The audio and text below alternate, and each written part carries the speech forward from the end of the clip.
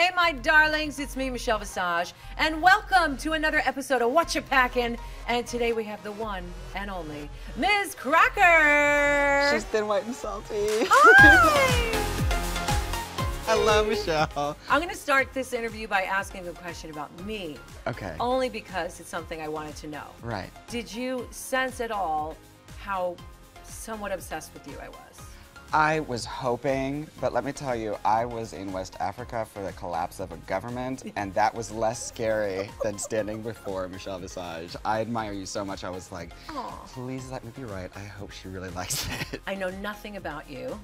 A I lot. want to know about you. Yeah, and listen, she loves talking, so she would love to tell you about herself. She loves talking, but she doesn't love emoting. Oh yeah, my favorite emotion is Where does that come from, do you think? Well, you know, I think it's from growing up in a very weird household. You know, obviously my weirdness comes from somewhere. And, uh, you know, my parents lived on the same property but in separate houses. So, like, my, Stop there. Explain. my mom lived in her art studio where she did her thing. My dad lived in the house where he did his thing. So they were and- disconnected. Like a guest house would be her art studio. Yeah, different worlds, Okay. completely different worlds. And it was sort of like, you know, in that environment, it's like you learn how to compartmentalize. You just explained it all in one paragraph. You're welcome. You spent a life viewing two people not emoting and pulling back from each other. Right. And even if their true emotion was to be anger, Yeah. disdain, Yeah. um, they weren't showing anything Right. except separating Yeah. from each other Yeah. to not be together. That's right. So you are kind of stuck with this emotion of, I'm not going to give it up, not going to give it up, because you were taught how to hold it back. Yeah. You're weird, and when I say weird, that's the highest compliment you're going to get from me. Because the weird people, the people that are willing to march to the beat of their own drummer, are the people who not only succeed but have longevity. Yeah. It's the people that want to fit in that we're bored with. Right. We want the people that are willing to dance and play and color in the margins. And you have to stop trying to live in the main space. Yeah.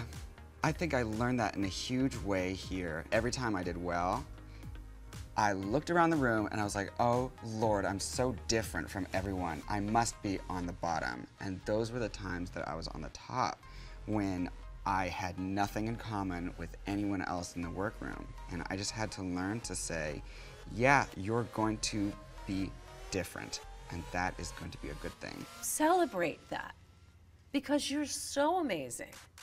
Thank you. You might have felt less than. And I think that you expressed that a few times on the main stage. Yeah. It's never the case. Okay. You were the only one who was doing it. Okay. And I know Ru must have told you that, you know, Yeah. a few times in the walkthroughs. And I have to feel about myself the way Ru feels about me, and we have 20 minutes.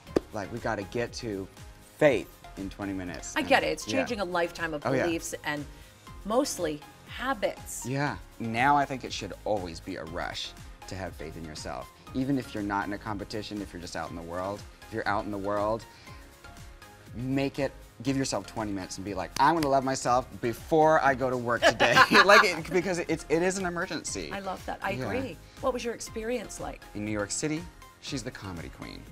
And when I got here, suddenly I was a runway queen. And learning that the places that you're most scared of, that fear will fuel you to do, to do better. So I ended up outperforming myself in the places that I was most afraid and underperforming in the, in the spots I was like, I have that in the bag. Do you and Aquaria have a little frenemy situation? Or are you friends back at home? Um, back at home, it's been back and forth. We were very close friends in a, in a time that I really enjoyed. She helped me so much. We drifted apart before the show for reasons that I don't understand. Did you talk about it? On the competition, we were able to talk about it. We fought like animals. We hated each other. And then we let that burn off. And by the end, I'm like so grateful that we walked out of it. I, when I left, I was like, here's some things of mine that I know you like. Please bring us a crown.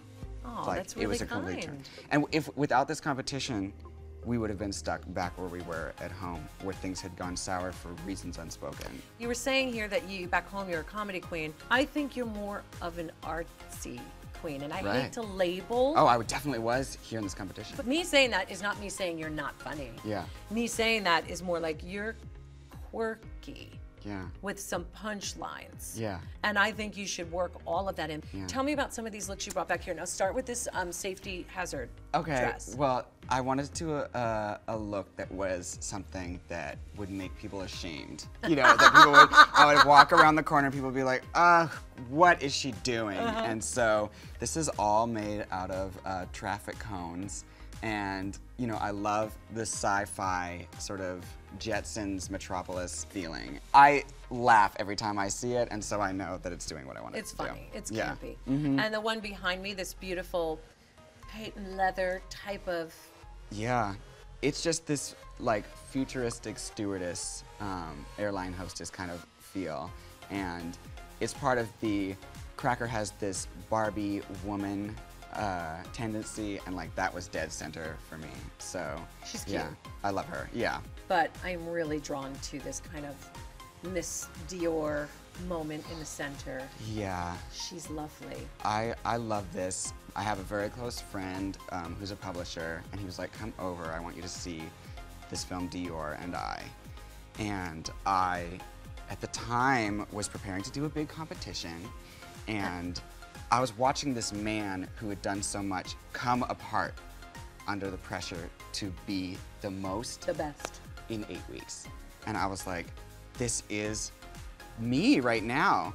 So this dress that spoke to me, I did a sort of homage to it. It's a little bit different. The cage is showing through, sort of the construction is showing through.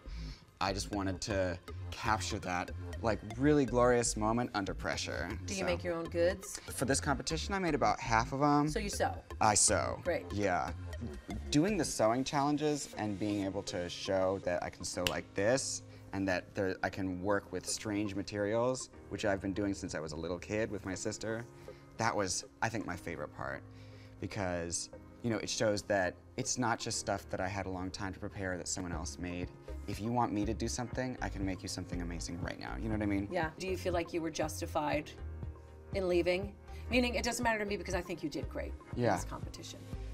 Do you think you being sent home for the challenge that you were sent home for, do you think it was justified? based on the challenge, when I walked out there, I was like, I win. This is me. But hearing the critiques, I was like, you do have a point. And so I'm ready to defend my place here. You know, based on those critiques, I was like, okay.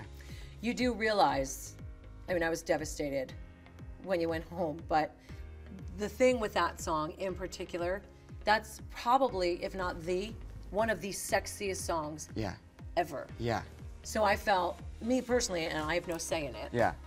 the cartwheels and all that stuff, it just didn't speak to that song. Right. Which is why Yeah. you ended up going home. Okay. In my opinion. Okay. This is not speaking for Ru or for the show. That's what I can only surmise. Yeah.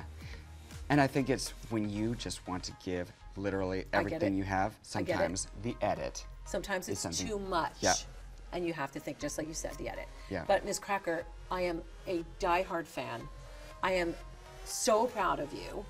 I want you to be honest with yourself, be open with yourself, Yeah. enjoy everything that this competition is going to bring to you. You're one of us, your family, you're top five, bitch. You came in fifth like me. Holla! And I am so proud of everything that you're doing. Thank you so much for sharing your gift with us. I have enjoyed the ride greatly. I can't tell you how much your presence means. And even when you think that you are being mean for your job, I can still, I can still feel, I can still feel the love. And I, it kept me going through. Oh, thank you, baby. Uh, social media is Miz Cracker.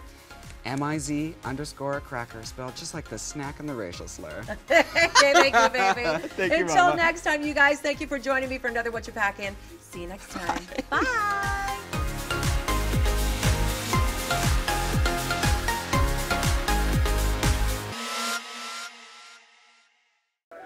Hey, squirrel friend!